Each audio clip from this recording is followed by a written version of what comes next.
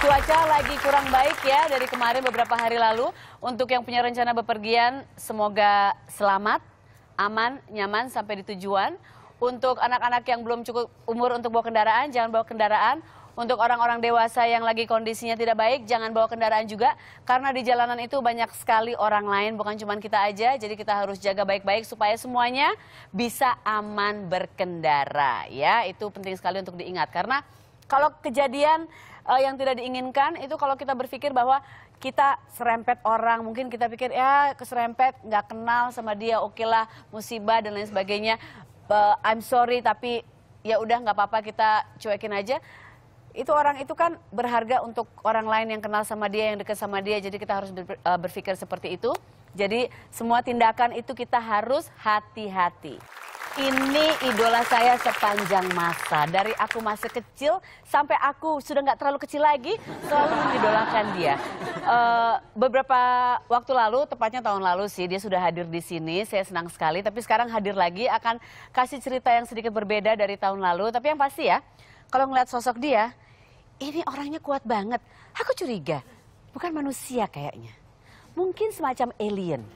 Kan sering dengar kan bahwa alien itu sebetulnya mungkin ada di antara kita, memantau, mengawasi dan lain sebagainya. Karena banyak sekali kejadian dalam hidupnya, tapi dia masih berdiri dengan tegar, nggak pernah kelihatan beruran air mata sambil press conference atau apa gitu. Tetap aja superwoman. Ria Irawan ada di sini. Mbak Ria. Kita kayak di arisan dua dong siluman. Oh iya, Oh iya, kita di Arisan 2 bintang film. Sehat? Alhamdulillah. Udah bagaimana sekarang ini kan beberapa waktu lalu aku baca semua orang juga sudah tahu bahwa uh, Mbak Ria sempat kurang sehat, didiagnosa. Enggak, enggak pernah enggak sehat, didiagnosa kanker. Ya, Tapi kanker, itu bukan penyakit yang menyakitkan. Oh, cuma mengagetkan. Enggak menyakitkan. Nah, aku... kagetnya juga kalau buat aku cuma gini doang. Iya makanya dari alien atau gimana sih? Gak mungkin gue main film dari 4 tahun, bapak gue Bambang Irawan, ibu gue ada Irawan kali. Alien juga mungkin.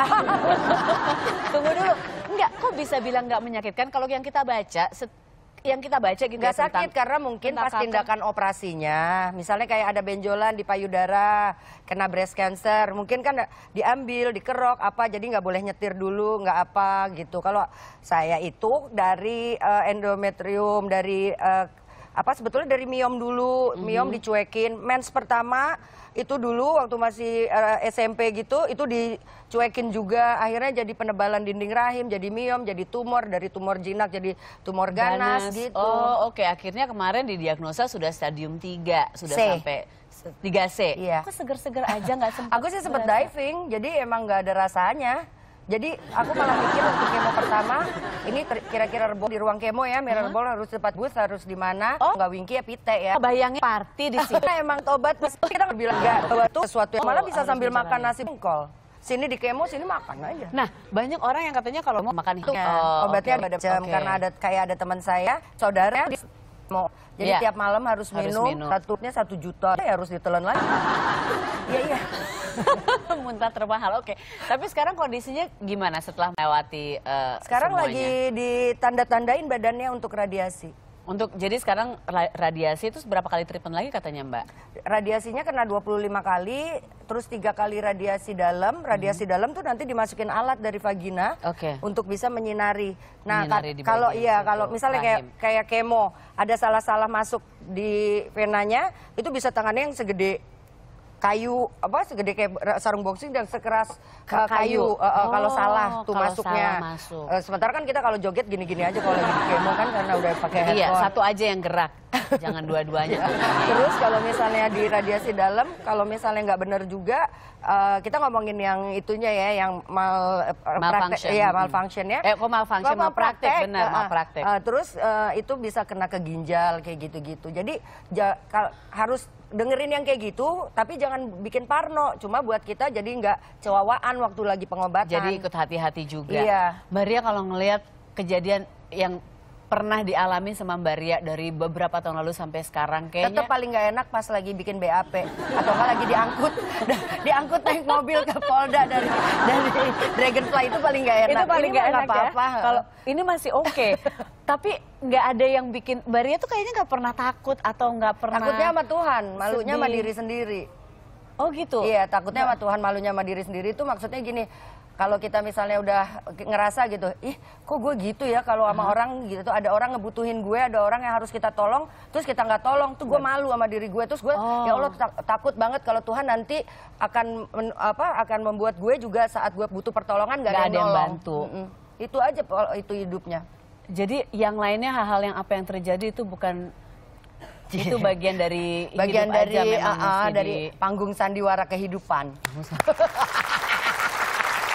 kamera on, kamera off, semuanya harus dinikmati, harus dijalanin dengar apa direkturnya adanya. ka- kapan ngomong action kapan ngomong cut Oh, itu iya, aja iya, iya, actingnya iya, iya. actingnya di situ aja selainnya harus sudah realistis hidup Jadi sekarang sambil menjalani eh, radiasi, treatment-treatment lain ini, sekarang selain itu kan diving masih tuh, Hmm. masih sempat diving.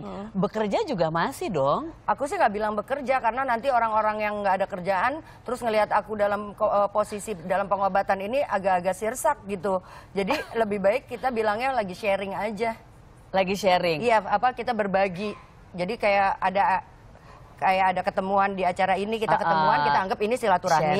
Iya, iya, iya, iya. dari hasil yang kita omongin dari pertemuan daripada ngerumpi nggak penting tapi informasi yang dari aku bisa Bisa eh, berguna untuk yang berguna lainnya. buat orang Apa banyak. sih yang bikin Mbak Ria tuh kuat banget? Apa? Karena itu, karena takutnya eh, aku sama juga udah nyiapin kain kafan untuk kematian jadi aku pikir kalau Itu mati satu hal yang- sendirian gitu itu satu hal yang memang harus terjadi gitu sama manusia akan lahir, jalanin hidup, kan kayak meninggal. gini orang ngelihat orang sukses itu bukan dari saat dia jatuh kan tapi saat dia bangkit dari dari keterpurukannya satu itu kedua memang manusia yang yang memang dianggap beriman kan diuji cobanya untuk naik kelas Naik kelas untuk ke tingkat yang tapi lebih. kalau udah kayak misalnya lagi sakit lagi apa kayak kemarin kan aku dua tahun pendarahannya Iya. yang waktu aku ke sini tuh aku udah Itu pendarahan mah- sudah lagi itu ya udah, padahal. udah. Iya, itu kan tahun lalu aku pernah soalnya. waktu diundang di satu acara lain tuh ngelihat ininya tuh warnanya kuning jadi aku duduknya gini nih di pinggiran takut nembus takut Oh, iya itu padahal sudah ini. kalau ya. kamu perhatiin aku tuh udah keringet dingin sih langsung dicari Enggak, tapi aktingnya oke banget waktu itu seperti Iya. seolah-olah tidak ada apa-apa. Iya, aku udah ditemenin kan sama temen-temenku yang dari Malaysia waktu Iya, datang ke sini. itu, Iya, karena mereka benar. tahu aku udah langsung mau apa dalam proses Iya, iya, pengobatan. iya, takut karena ada kan aku udah juga. udah di eh, apa berobatnya di Malaysia, di Singapura gitu. Tapi aku nggak menyangka loh, Mbak Ria itu ya, masa bisa bikin ini? Ini aku tambah kagum. Ria Irawan bikin sepatu, bikin rajut-rajutan, bikin sendiri. Asli keren banget. Enggak, ini kan konsepnya cuma ini aku pengennya ngajar di eh, lapas perempuan kali aja mumpung live gini kan acara yang kondang kayak gini kan penontonnya banyak. Jadi ibu-ibu Iya kan aminin. Jadi Amin. ibu i- ibu lapas itu apa sipir itu kan Iya, bisa benar. bisa lihat kali aja kalau misalnya aku pengen buat SDM-nya itu eh, para napi perempuan. Iya, Jadi iya, aku iya. pengen ngajarin. Jadi ini konsepnya cuma kayak dari sarung telepon. Jadi aku bikin gini gitu. Ini Karena dari sepatu mana Mbak? Hah? Apa dari dulu bisa? Kan dulu kalau prakarya suka emang ada rajutan Oh, kan. oke. Kamu udah suka SD-nya di mana Amerika sih? Gak ada prakarya. ada lunch time, ada olahraga sama Dan origami pasti dikit-dikit. pelajaran favorit kamu lunch time. Iya, ketahuan ya. Aku juga sih di kantin. Sambil prakarya juga di Oh ini pelajaran dari dulu sudah Iya, dipelajari terus cuma konsep lagi. konsepnya bikinnya bisa Canggih bisa banget. polanya begini. Kan aku ngelihat yang sepatu mahal-mahal itu yang harganya di atas 300 ribu gitu. eh, gimana ya cara untuk bisa bikin serongsongannya itu? Jadi ya aku buka aja, aku lihat terus Jualan nggak sekarang? Nah, aku datang ke sini mau nanya kira-kira harganya berapa? Karena kan yang si 5 juta biar cepet kaya. Bilang sepatu rajutan Ria Irawan. 5 juta aku malah 500. pengen memperdayakan dolar. memperdayakan yang itu loh yang di lapas. Aku bisa know, ngajarin begitu. mereka bikin, aku paling mereka cuma jual. beli gininya paling cuma berapa sih? 20 jangan ribu. Jangan bilang-bilang 2000 jadi maksud gini 20, loh. 25 ya, kasihan lah yang di- ngajarin ke mereka pakai label Ria Irawan, aku bilang sih pakai dolar. Dia kan sepatu bikin sendiri kan? Pantesan kamu mah. ah. Apa? Maksudnya barang aku nggak ada yang beli. aku juga berusaha bisnis, nggak pernah laku. Iya dijual, Padahal coba. kamu ngejar setorannya sampai dari live apa tapping Oh, live, oh, deh, ya? aku gak sebut makan cuma karena kaya kali aku gara-gara buru-buru biar dapat duit gitu loh. Iya tuh coba tadi itu polanya cuma begitu doang. Iya, tuh. begini, Cuma terus, gini oh, aja, cuma loh. dimasukin gini, terus nanti sama tukang sepatu bukan gue. Tukang sepatunya. semuanya dia bikin sendiri. Cuma gini doang tuh. Nanti di sini bisa pakai ikat, Oke, bisa tiga pakai juta lima ratus kalau kata Nggak ada yang jual. beli dong. Ini kan aku Ya pengen buat yayasan kalau nanti dari keuntungannya. Ya, Jadi lebih cepat buat yayasannya. Tapi yayasan apa yang sampai maruk begitu?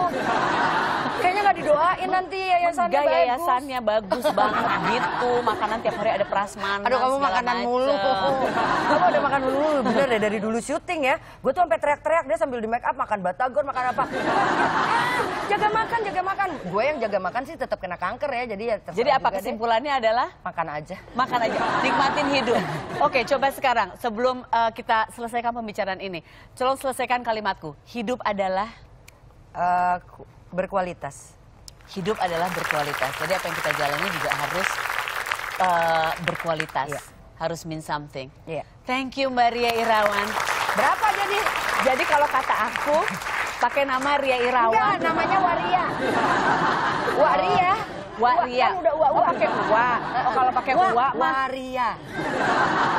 ya kan uwa uwa. Tapi kan itu daerah banget uwa. Jadi itu mah 200. Jadi namanya apa? Ria Irawan. Madam Ria Irawan. Nggak penting banget. 3 juta Cuma rupiah. begini. Ya. Kalau gitu tukerannya satu buat aku, aku size 36 ini bantal. Iya, ntar aku bikinin. Terima kasih Mbak Ria sudah datang ke sini.